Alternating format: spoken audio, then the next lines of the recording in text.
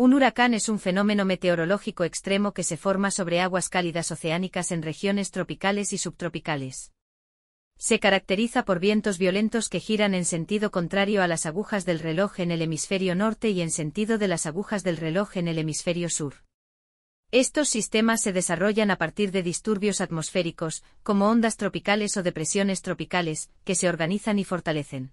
La formación de un huracán implica varios elementos clave, como el agua cálida del océano que proporciona energía, la evaporación y condensación del agua que libera calor latente, la rotación de la Tierra que contribuye a la formación de una circulación ciclónica y la presión atmosférica baja que atrae aire circundante.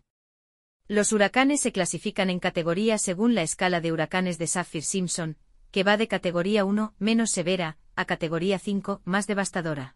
Estos sistemas pueden provocar vientos destructivos, fuertes lluvias, marejadas ciclónicas y tornados asociados, lo que resulta en daños extensos a la infraestructura y en ocasiones pérdida de vidas.